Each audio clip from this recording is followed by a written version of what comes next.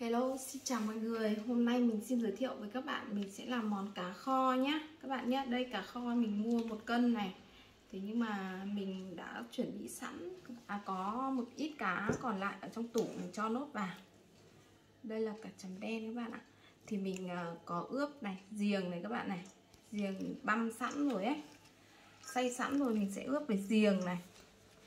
Rồi à, mình sẽ cho xả vào nhé các bạn nhé đây, xả đây, bây giờ mình bắt đầu thái cái củ của nó thôi. Thế còn cái cái cái ờ, ấy của nó, cái ngọn của nó mình sẽ để ờ, mình cho xuống đáy nồi. Và đây, giềng mình chuẩn bị sẵn này. Giềng này là để thái sữa nát nhé, các bạn nhé. Cái này mình thái nhỏ ra rồi mình cho vào. Quay ráp xuống dưới này.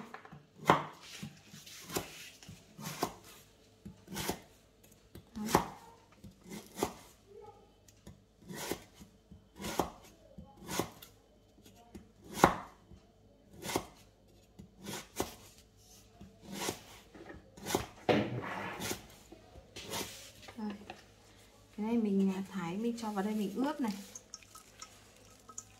Hiện tại là mình có sử dụng uh, giềng này. Với lại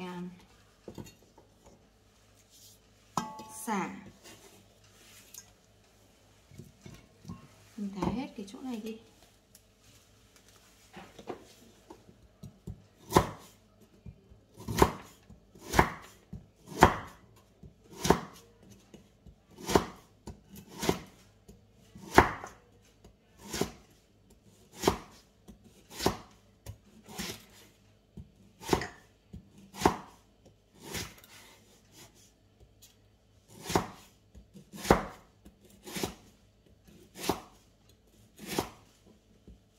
Nếu muốn cá ngon thì chúng ta phải cho nhiều gia vị một chút, nhiều các loại. Cái này cũng được gọi là gia vị này. Cái này chúng ta sẽ ướp vào. Cho thêm một ít hành khô nữa các bạn ạ. Hành khô mình cũng đập ra nhé.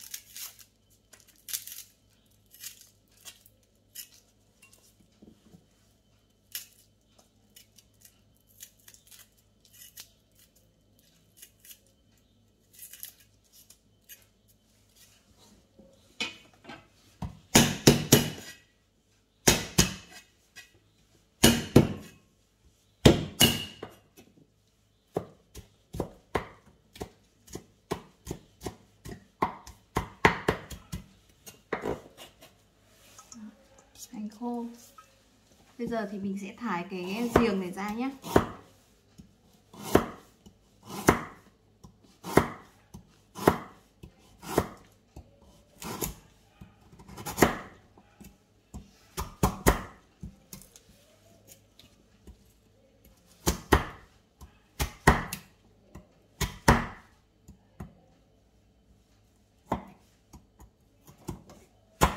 Cứng quá các bạn đây, mình để xuống dưới này Đó.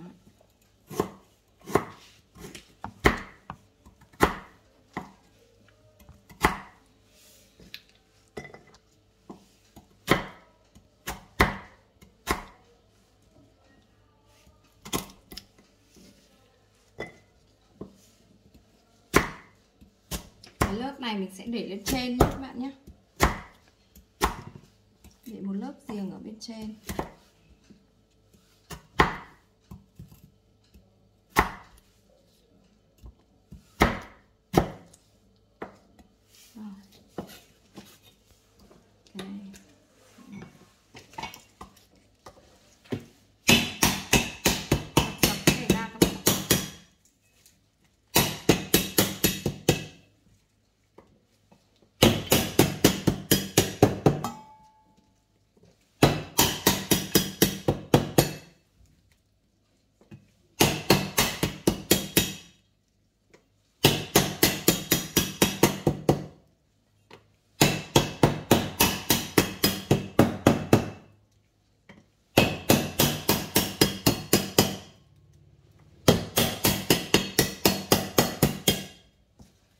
mình sẽ cắt khúc ra này. À. mình trải xuống bên dưới để cho tránh cháy cá nhá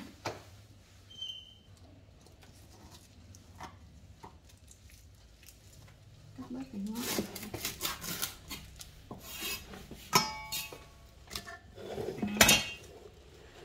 sau khi mình chuẩn bị xong cái lót ở bên dưới đáy nồi ấy, thì mình sẽ đi ướp cá nhé các bạn nhé Đấy cá thì mình đã giới thiệu với các bạn là mình đã cho hành này Hành khô, xả và giềng Giềng sừng xay đấy các bạn. Mình đã cho vào rồi Bây giờ mình sẽ cho Đầu tiên là mình sẽ cho nước hàng và mình ướp nhé.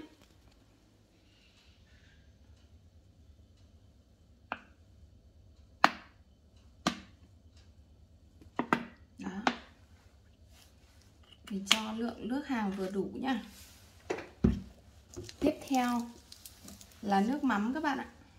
Mình sử dụng nước mắm này để nấu.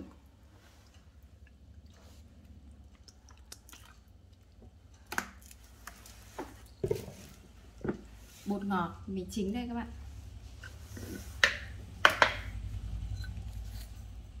Mình cho 3 thìa mì chính nữa. 3 muỗng.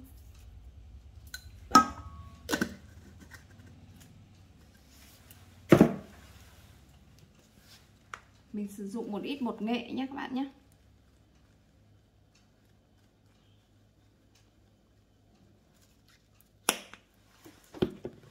Và một chút dầu ăn để cho cá nó không bị khô các bạn ạ.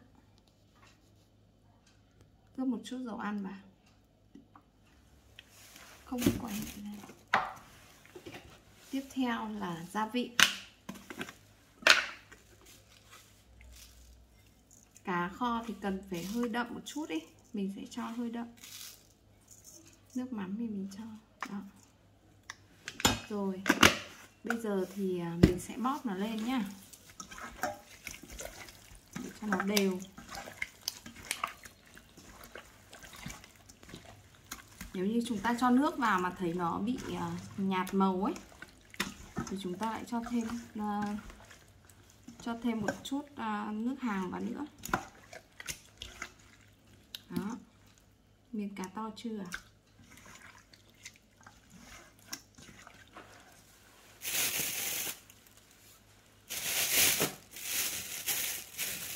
nếu như nhà các bạn có hạt tiêu xanh ấy thì các bạn có thể cho vài à, quả hạt tiêu xanh này vào nhá.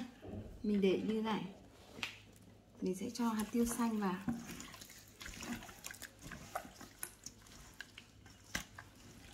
Cái nồi này sợ chật đấy nhỉ? Bây giờ thì mình sẽ dừng nữa.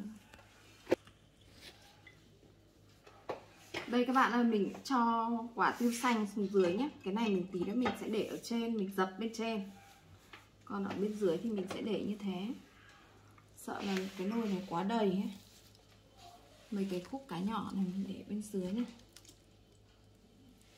oh, ờ, bị đầy rồi không hết rồi.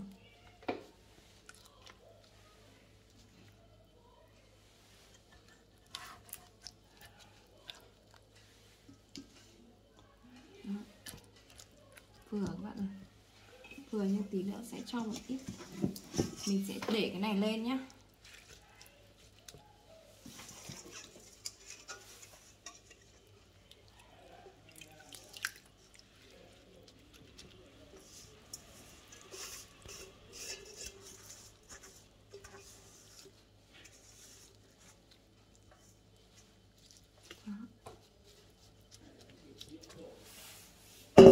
Mình sẽ dập cái hạt tiêu này.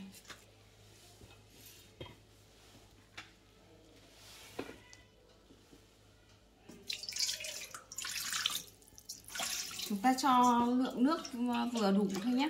Tại vì là cái nồi này ấy, nó không tốn nước các bạn ạ. Mình sẽ cho một ít nước thôi.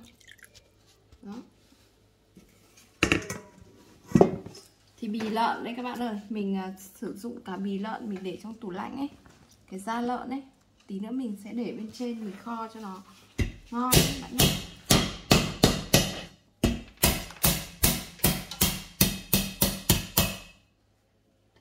Hạt tiêu.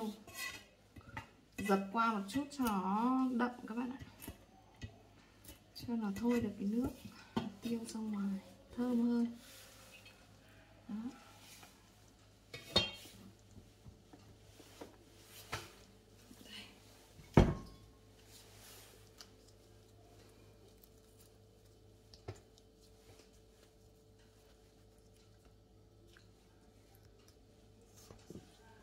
Thì cái da lợn khi mình kho một lúc ừ, khoảng 2 tiếng thì mình sẽ cho cái da lợn vào sau các bạn ạ.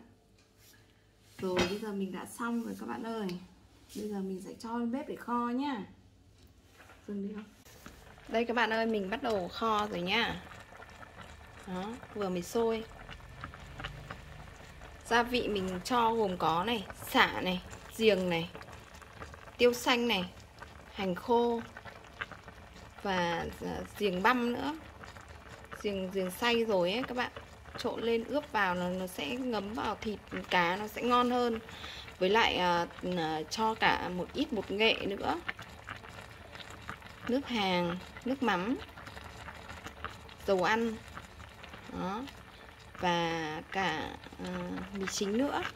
Rồi còn đây là da lợn mình đã chuẩn bị sẵn tí nữa mình sẽ cho vào nhé các bạn nhé. Đó mình hiện tại mình đang kho bằng cái nồi sứ, nồi sành các bạn nhé. Kho bằng bếp lửa này, bếp ga. Đó. Đấy các bạn. Kho thế này trong vòng 5 tiếng là sẽ ngon, rất ngon. Xin chào tạm biệt mọi người. Cảm ơn mọi người đã xem video của mình nha.